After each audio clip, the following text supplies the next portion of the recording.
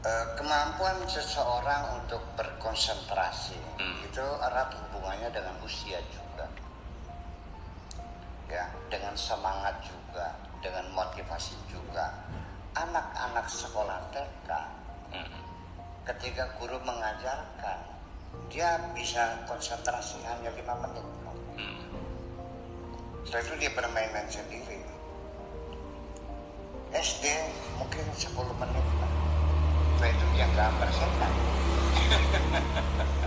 Anak SMP SMA guru menerangkan dia ini bikin surat cinta. Saya berpakaian rapih dan ada mahasiswi saya duduk dia memperhatikan.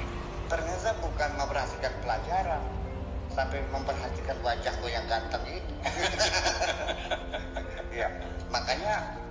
kita mesti tahu terus kita sebagai seorang public speaker itu mesti audiens mesti dalam kontrol kita. Hmm. ketika suasana sudah tidak selesai konsentrasi segera kita alihkan pembicaraan pada sesuatu topik yang sangat menarik bagi mereka. Iya.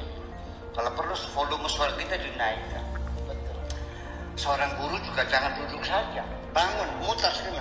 Semua ya. Supaya mereka itu terkonsentrasi. Dan ini perlu jam terbang makanya saya kira eh, teori bahwa tasbih ya pakai apa counter counter ya ataupun makanya dengan bilangan-bilangan itu. Maksudnya supaya kita bisa berkonsentrasi sekian lama. Iya. kalau saya pribadi eh, saya bisa konsentrasi semalam suntuk ya tiga sampai saja ya bisa dua jam saya tidak pernah Tidak ya siaran kok tidak traveling